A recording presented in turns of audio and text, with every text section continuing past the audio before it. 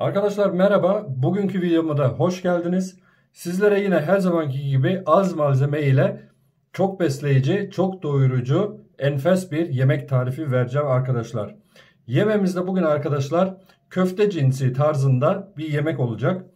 Ee, yemeklerimizin yani daha doğrusu malzemelerimizin besin değerlerine hiç değinmeden çünkü ne demiştik açıklama bölgesinde hepsini izah edeceğim yoksa konu çok uzuyor arkadaşlar. Hemen ilk malzememize geçelim isterseniz. İlk malzememiz arkadaşlar kıyma.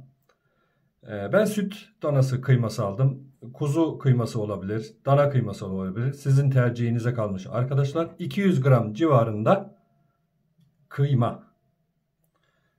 İkinci malzememiz olarak arkadaşlar gördüğünüz gibi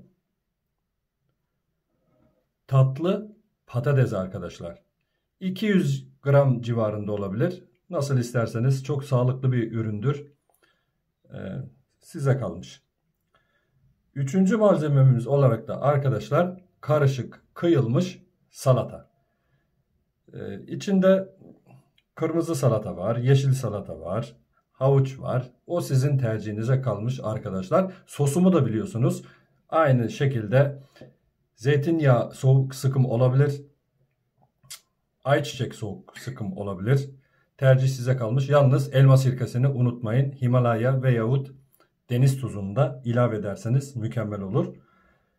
Köfte harcının içinde arkadaşlar beyaz ekmek kullanmıyorum. Pane harcı da kullanmıyorum. Arkadaşlar bizim kızıl buğday unundan kullanıyoruz. Bir veyahut iki yemek kaşığı köftemizin içinde harç olarak kullanıyoruz.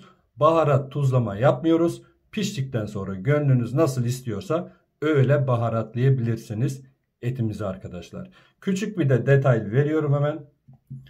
Bahçemizden koparmış olduğum acı biber arkadaşlar. İsterseniz hemen yapılışına geçelim. Görüşürüz.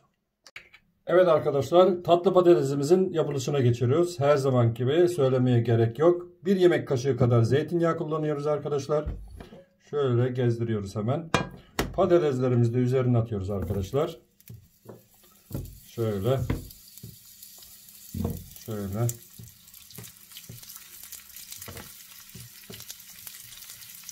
Evet. Tatlı patatesi fazla pişirmeye gerek yok arkadaşlar. Kendisi bilmiyorum tattınız mı hiç ama birazcık böyle e, bal kabağı tadında sanki. Böyle patates, bal kabağı karışımı gibi bir şey arkadaşlar. Mineral ve vitamin açısından çok zengindir.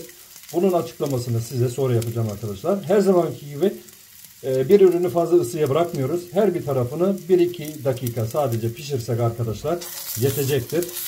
Hemen dönüyorum arkadaşlar. Evet arkadaşlar köftemizin pişirme aşamasına geliyoruz arkadaşlar. Yine zeytinyağı katıyoruz arkadaşlar.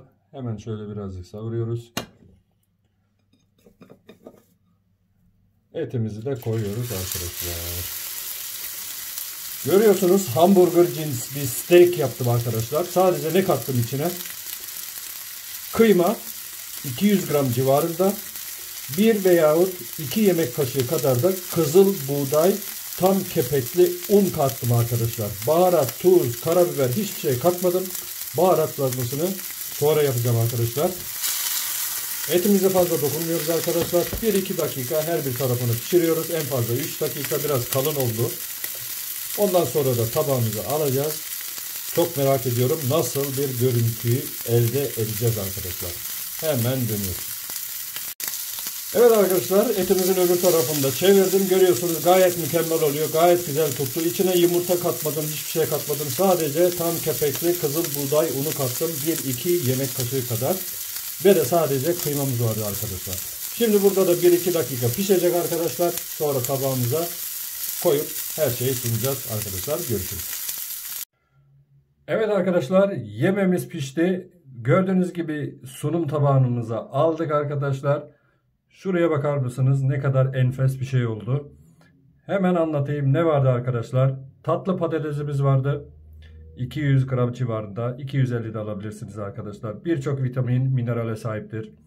Sonra neyimiz vardı arkadaşlar? 200 gram civarında kıymamız vardı. İçine sadece 1-2 yemek kaşığı kadar tam kepekli un türü kattım içinde arkadaşlar. Benimkisi kızıl buğday unuydu. Sonra bolcam salata var. Elma sirkeli soğuk sıkım yağlı arkadaşlar. Yanına da şöyle bir tane sarı acı biber koyduk. Sevenleriniz olur arkadaşlar. Umarım e, bu basit videoyu da yemeği de beğenmişsinizdir arkadaşlar. Denemenizi tavsiye ederim.